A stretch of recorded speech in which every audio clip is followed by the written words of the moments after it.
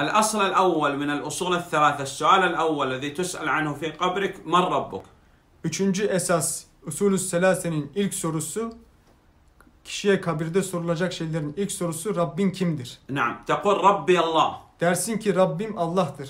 الذي رباني أي خلقني ورزقني O Rab ki beni terbiye etti yani beni yarattı ve rızık verdi. إذا كان هو الذي خلقني ورزقني لابد أن يعبد ولا يعبد غير الله سبحانه وتعالى Eğer beni yaratan oysa ve bana rızık veren oysa o halde o Allah'tan başkasına ibadet edilmemesi gerekir. لأن الخلق والرزق هذا تربية للظاهر للبدن Çünkü yaratma ve rızık verme bedenin zahir terbiyesidir. نعم والتربية للباطن كانت بإنزال الكتب وإرسال الأنبياء والرسل عليهم الصلاة والسلام Batın terbiye ise Allah'ın kitaplar indirmesiyle, peygamberler göndermesiyle gerçekleşmiştir. فلا يمكن أن نصرف شيئا من العبادة لغير الله İbadetlerden küçücük bir şeyi bile Allah'tan başkasına yöneltmemeliyiz. من صرف شيئا من العبادة لغير الله فهو مشرك كافر İbadetlerden en ufak bir şeyi bile Allah'tan başkasına yönelten bir kimse kafirdir, müşriktir. نعم ولهذا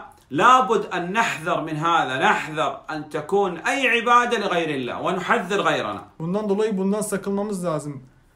İbadetlerimizin sadece Allah'a yapılması lazım ve insanları da bu hususta sakındırmamız lazım. نعلم الناس İnsanlara öğretmemiz lazım bunu. ننصح Onlara nasihat etmemiz lazım. لكن الحكم على الأشخاص لا نحكم على فلان كافر فلان مبتدع لا الذي يحكم على الأشخاص Kibar ulema el mehakim şer'iyye vallahu alem. Ancak şahıslar üzerinde hüküm vermeyi alimlere bırakmamız lazım. Biz şahıslar üzerinde hüküm vermeyiz.